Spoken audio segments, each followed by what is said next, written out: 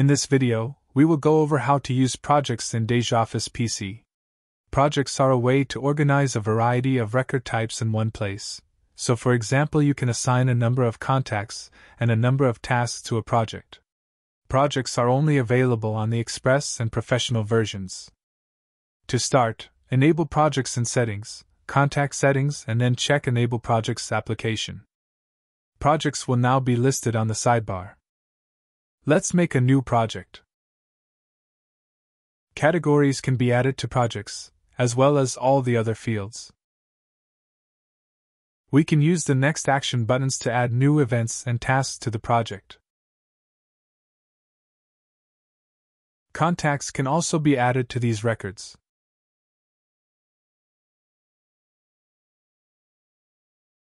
You can also add history records, as well as notes on the project.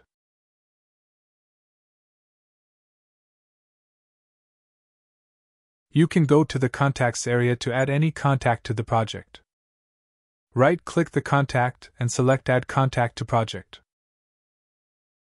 Select the project.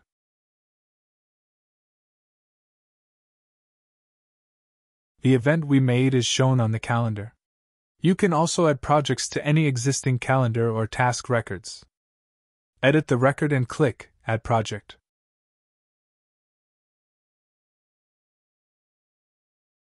If we check the project, the events and contact are now listed on the project.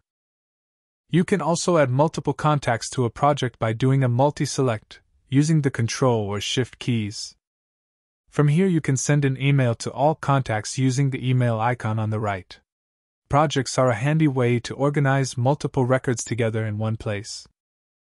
Thanks for watching our video. You can check out our playlist for more videos on DejaOffice PC.